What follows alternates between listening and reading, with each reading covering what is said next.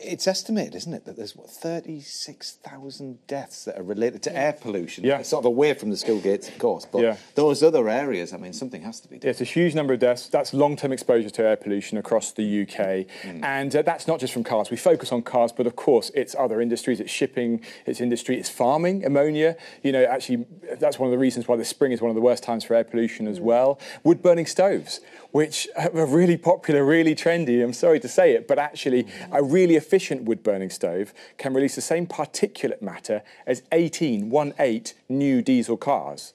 I mean, that is just staggering. Think about what you're doing to your street when you light your wood burning stove. That's not a popular thing to say, but it's really, really not good for people's health. Yeah.